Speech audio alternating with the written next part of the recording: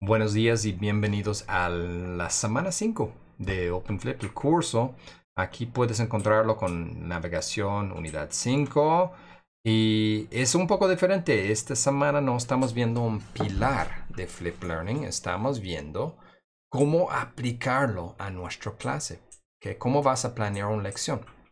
Y si vas a planear una lección, un, clase, pues cuál es el título de la clase, descripción de tu objetivo de aprendizaje, cuál es el contenido previo a clase para sus alumnos, cómo vamos a motivar que los alumnos realmente hacen su trabajo de previo de clase, qué vamos a hacer adentro de clase, cómo vamos a evaluar la actividad y el aprendizaje de los alumnos y una reflexión sobre ese proceso.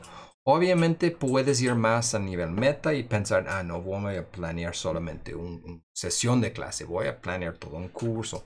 Adelante, a nivel más alto y meta, adelante en hacerlo. Y pues entrega su, eh, su entrega en su bitácora de blog, entrega, en entrega de bitácora y también en un video.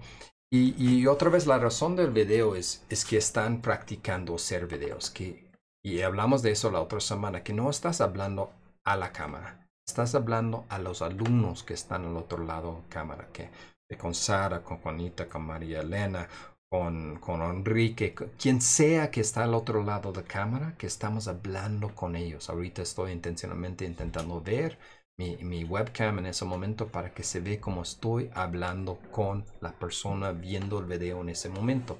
Pues eso es la intención de hacer los videos. Obviamente puedes hacerlo o no, es, es un curso, es un, es un MOOC, uh, es un CMOOC, no voy a calificar sus entregas, pero la intención de eso de los videos es que estamos practicando hacer videos. Entonces, gracias por participar.